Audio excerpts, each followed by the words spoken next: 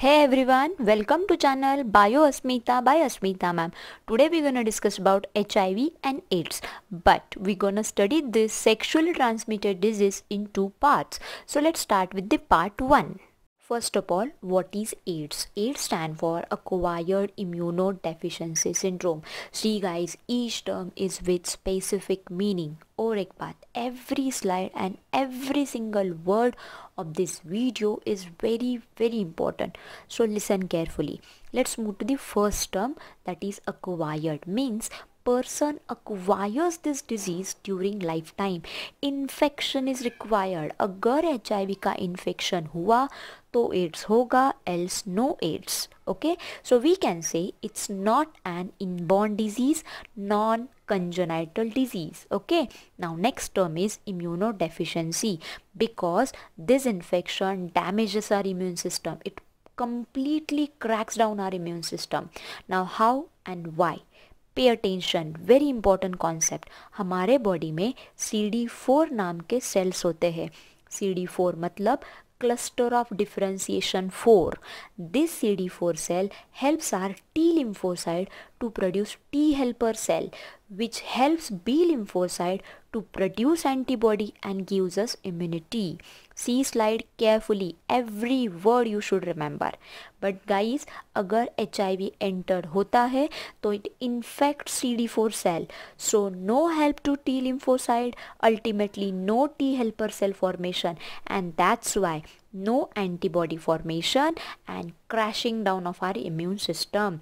मतलब immune system become deficient. See, normally हमारे body में 2000 CD4 सेल्स होते हैं but due to H infection वो लेस देन 200 हो जाते and that's why deficiency of immune system understanding now last term syndrome means collection of symptom थोड़ा सोचो immune system पूरी डाउन है।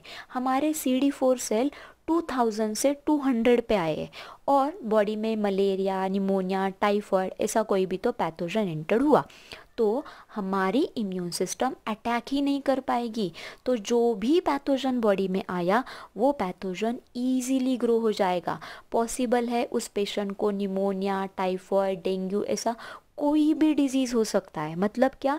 Body will be having number of symptom and that situation is called as syndrome understood So first of all we'll discuss causative agent of AIDS. It's a viral disease and name of virus is HIV. जिसका full form है human immuno deficiency virus ये हमारे immune system को deficient बनाता है damage कराता है इसीलिए इसका नाम है human immuno deficiency virus okay it's a RNA virus why because it's having RNA as a genetic material Keep in mind it's having two copies of single stranded RNA. It's again important part for your MCQ. Okay. Now see it is written as 2SS RNA. मतलब इसके पास दो single standard R N S के copies होते हैं okay now see this H I V is also called as retro virus now why तो बच्चों, ध्यान से सुनो। This is very very important and one of the most hot topic for M C Q as well as one liner so see H I V is with R N as a genetic material right but it can't replicate on its own and हमारे cell का genetic material होता है DNA right तो अगर हमारे cell को infect करना है तो डीएनए चाहिए। सो ये एचआईवी जिसके पास आरएनए है वो आरएनए से बनाता है डीएनए क्या बनाता है? ध्यान में रखो from R N A there is a formation of D N A और ये जो प्रोसेस है, ये जो कन्वर्जन है, इसको बोलते हैं reverse transcription very very important बार बार बोल रही हूँ बिकॉज़ ये सच में बहुत इंपॉर्टेंट है.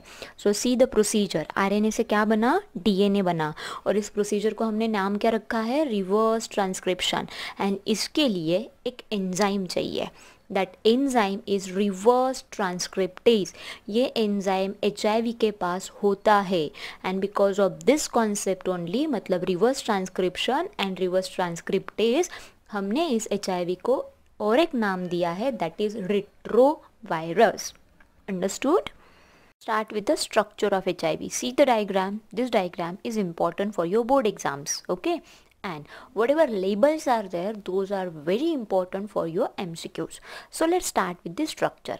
See this HIV is protected by an envelope which is made up of lipid bilayer and on this lipid bilayer there are the presence of two proteins called as GP120 and GP41. See I have highlighted those proteins by red color.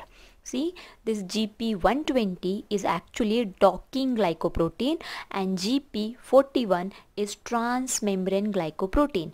We're gonna discuss the roles of this protein in next slide. Okay.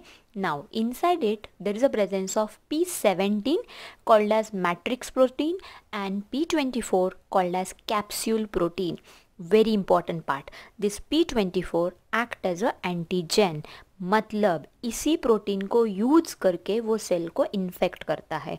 Okay now inside this protein codes there are the presence of two single standard R N E and that's why we call this H I V as a R N A virus okay now here are the presence of two most important enzyme the first one is reverse transcriptase by using this enzyme this virus produces D N A and one more enzyme is there called as integrase.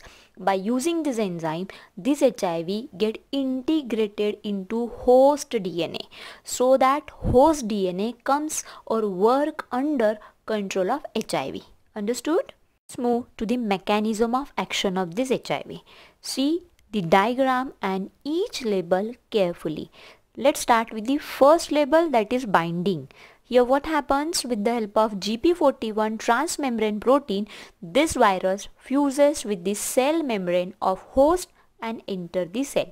See don't forget on the previous slide we have studied there are the two proteins that is GP41 and GP120 present on the lipid bilayer of virus okay तो उसमें से सबसे पहले किसने काम करना start किया GP forty one ने क्यों किया because it's a trans membrane protein Understood now उसके बाद कौन काम करेगा? GP 120 by using this G P one twenty this virus attaches to the C D four receptor cell that is T lymphocyte monocytes and macrophages मतलब ये virus हमारे सारे immune cell को डैमेज करेगा. Okay after that third one of the most important step I have told you it's a RNA virus and it can't replicate on its own. Okay so यहाँ पे क्या करेगा ये virus with the help of reverse transcriptase enzyme this virus will produce DNA right so see the diagram see yellow coloured viral RNA okay ये क्या करेगा? Reverse transcription करके क्या बनाएगा? Viral DNA now see red portion yellow वाला क्या है? Viral RNA और रेड वाला क्या है? वायरल डीएनए कैसे बना? बाय रिवर्स ट्रांसक्रिप्शन और कौन सा एंजाइम यूज़ हुआ? Reverse transcriptase understood now fourth step that is integration यहाँ पे काम करेगा integrase enzyme with the help of integrase enzyme viral DNA get integrated into host DNA now see the host DNA blue colour portion is the host nucleus और उसके अंदर है blue वाला host का डीएनए तो यहाँ पे क्या हो जाएगा जस्ट मिक्सिंग और we can say integration of viral DNA inside host DNA okay मतलब क्या viral DNA becomes the part of host DNA but because of that host DNA comes under or work under control of HIV. A B. This host cell and host DNA becomes factory of viruses. मतलब बहुत ज़्यादा number में अभी viral DNA बनेगा viral proteins बनेंगे and ultimately huge number of नए HIV बनेंगे. Understanding और जितने ज़्यादा वायरसेस बनेंगे, वो सारे वायरसेस अदर इम्यून सेल्स को डैमेज करेंगे. And the worst part within six months of infection that person will be H I V positive understood three the most simplified but important slide अभी तक हमने क्या देखा? H I V bind to our cell it enter inside our cell and it try to infect our many more number of cell right and then the patient become H I V positive but specifically this H I V targets और damages C D four cell right see normal person में two thousand C D four cells होते हैं। But HIV positive person उसके body में सिर्फ़ 200 CD4 cells होते हैं।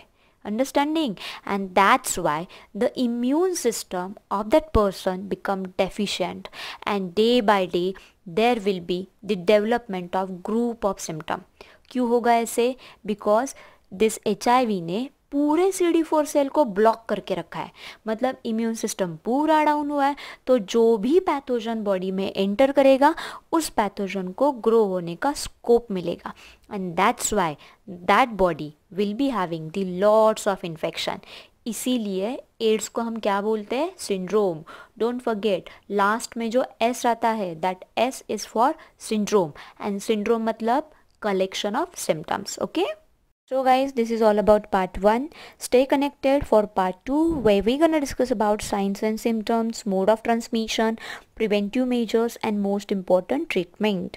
And अगर ये video आपको helpful लग रहा है तो please like, subscribe and share. Okay, till then bye bye and thanks for watching.